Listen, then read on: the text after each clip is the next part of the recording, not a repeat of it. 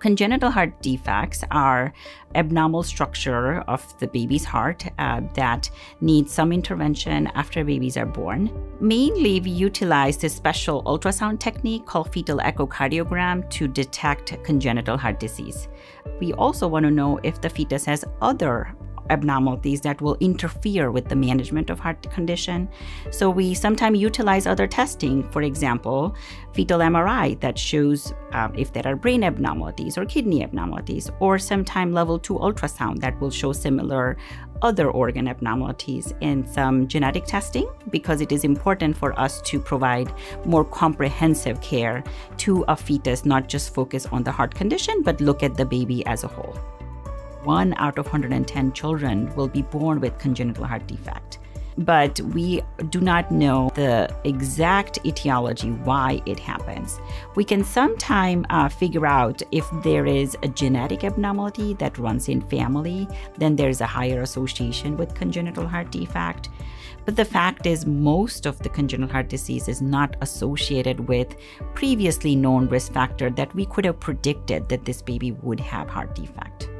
Once there is a prenatal diagnosis of any congenital heart disease, whether it's a structural defect, arrhythmia, or dysfunction of the heart, the pregnancy may look different. These mothers and parents need to meet with the specialist. We need to have diagnosis. We need to also have follow-up visit to see if there are any changes. So we would usually see them once every month at least.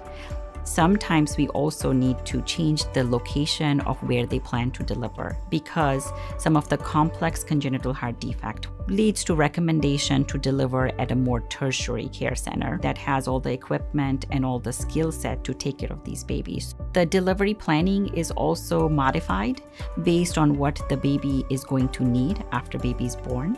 Um, so sometimes uh, we would have induction of labor so that we can predict when the baby will be born. And then when baby arrives, we have all the medication, equipment, and the physician ready, whoever is going to be needed. And we make all these predictions before the baby is born.